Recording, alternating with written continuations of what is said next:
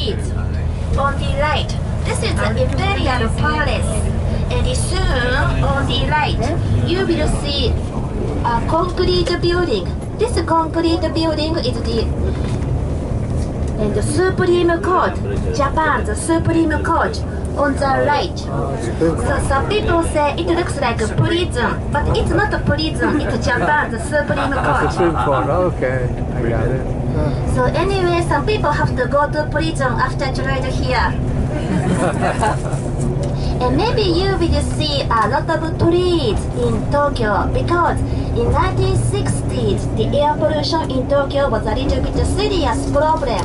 The government carried out lot of measures to reduce the air pollution from Tokyo. The government planted a lot of trees. Government made a lot of parks in order to increase green in Tokyo area and these measures are very effective.